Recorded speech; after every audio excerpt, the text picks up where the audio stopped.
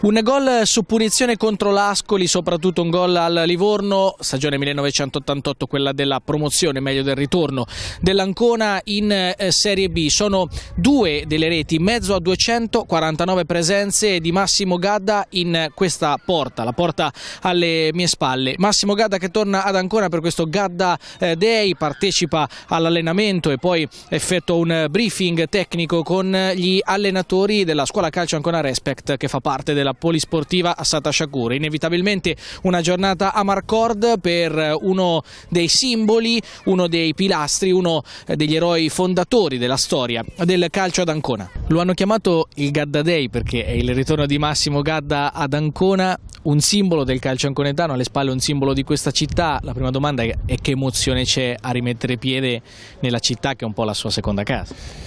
Sì, io quando torno qui, e l'ultima volta c'ero tornato quando allenavo il Forlì,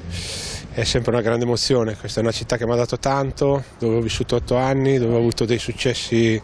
eh, calcistici importanti, eh, dove sono nati i miei due figli e quindi veramente per me, anche se sono un po' di anni che sono andato via, è una seconda casa tanti luoghi eh, di cui conserva i ricordi, uno in particolare lo Stadio Dorico perché insomma è lì dove, che, dove ha messo piede per la prima volta, è lì dove ha vissuto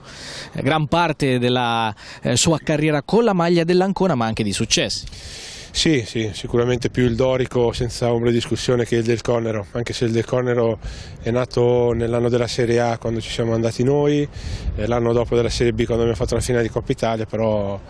il mio stadio è il vecchio Dorico, quello sicuramente. E cosa le ricorda il Dorico? Quante cose lì dentro? Quante, quante storie, quanti episodi? Eh, tante che adesso raccontarle sono troppe, sicuramente grandi successi perché i due campionati vinti della Serie C e della Serie B sono stati veramente un'emozione forte e quindi ci siamo sempre rivisti quando anche sento i miei ex compagni in questo stadio che magari era un po' vecchio però aveva un suo fascino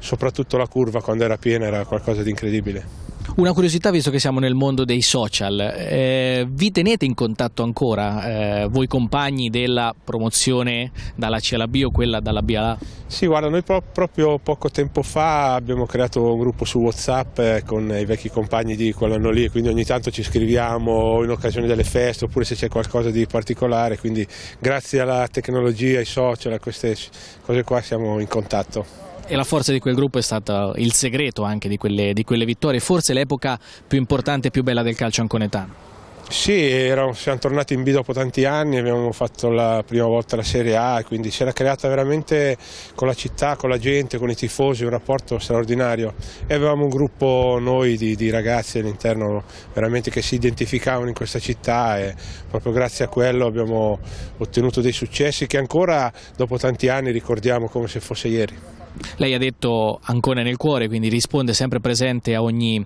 eh, cosa o richiesta che arriva da questa città come la giornata eh, di oggi. Ancona Respect è un, è un, è un progetto, è un qualche cosa di molto molto bello a cui non ha potuto dire di no evidentemente. No, sono venuto assolutamente volentieri, è una cosa nobile, quindi sono contento di dare la mia presenza almeno per un giorno e poi quando posso si sì, torno ad Ancona, quando mi chiamano, quando c'è qualcosa, ci torno sempre volentieri.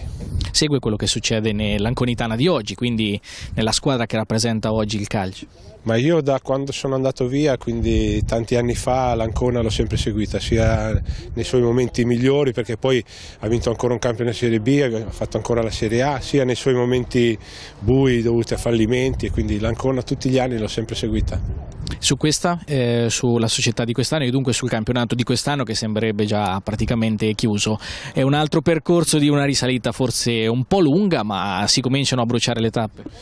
Sì, anche se io ritengo che vincere i campionati è sicuramente importante, uscire da queste categorie è importante, però visto quello che succede al giorno del calcio,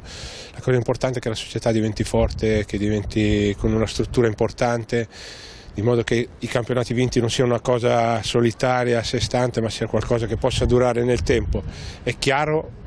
questo campionato non dico che è vinto perché alla fine però credo che nove punti di vantaggio siano tanti e possa veramente arrivare fino in fondo. Gad è stato simbolo di, un'epoca, da qualche settimana a questa parte ce n'è anche un altro, sto parlando di Mastronunzio e il suo record di gol. Eh, lei che ha un po' più di esperienza, se la senti dire che siete un po' le ultime due bandiere del, del, del calcio, del calcio di, di, Ancona e per come è fatto il calcio oggi è difficile pensare a qualcun altro oltre voi?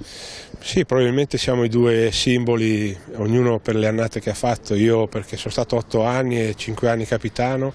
lui per quello che ha fatto, per i tanti gol che, che ha segnato, per la scelta che ha fatto di tornare in un momento difficile, quindi credo che negli ultimi vent'anni dell'Ancona credo che possiamo essere sicuramente scelti come i giocatori simbolo. Arriverà anche il giorno che vi incontrerete. Ah, non so, può darsi, vediamo un po'. Ultimissima domanda invece se sono maturi i tempi per un ritorno di Garda d'Ancona dal punto di vista della professione. Ma quello non lo so, se ne è parlato anche altri anni, ma sinceramente non ne ho idea. Adesso l'importante è che l'Ancona vinca questo campionato, faccia un altro saltino e poi, poi, vedremo, non lo so. Massimo Gadda, un pezzo di storia della, dell'Ancona, un gran bel pezzo di storia eh, che si presta ad un eh, pomeriggio molto bello con eh, Ancona Respect. Come vi è venuta in mente intanto questa idea? Ma come ci è venuto in mente, come sa, sapete la, la, nostra società nasce da, da, un gruppo di ultras dell'Ancona, quindi le radici sono, sono dietro a quella curva là, dietro a quella porta là e quindi Massimo Gadda è stato chiamato perché comunque è una bandiera dell'Ancona, però vi dico la verità, la scelta ricade soprattutto nell'uomo e nella sua etica di fare sport, infatti al di là che sia stato il nostro capitano otto anni, quindi ci ha riempito di, di gioia e gloria, però è stata più una scelta legata all'uomo Gadda, a, allo sportivo etico che poi è il nostro messaggio quotidiano. Una storia della vostra scuola calcio che ha preso anche una nuova strada perché se guardiamo alle tue spalle insomma c'è eh, un bel settore tutto al femminile. Assolutamente sì, quest'anno ci è esploso così da settembre, abbiamo 18 ragazzini di cui eh, 16 fanno parte della squadra Under 12,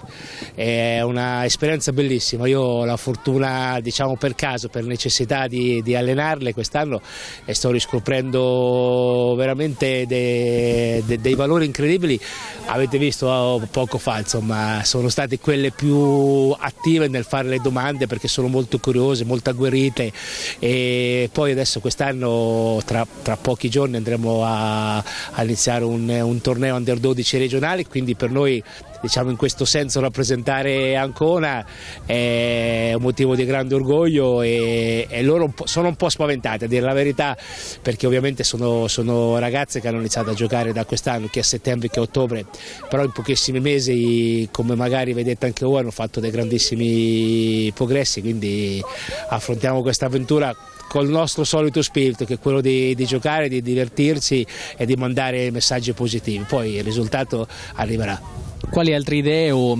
progetti avete in cantiere? Ogni mese abbiamo intenzione di, di, riservare delle grandi iniziative, questa è soltanto la seconda. Abbiamo altri nominativi che non svelo perché ancora non abbiamo la, la conferma solo per quello, però altre giornate come questa che fanno bene secondo me soprattutto ai ragazzi, però ai nostri, ai nostri mister e perché no anche in questo caso come massimo alla città stessa.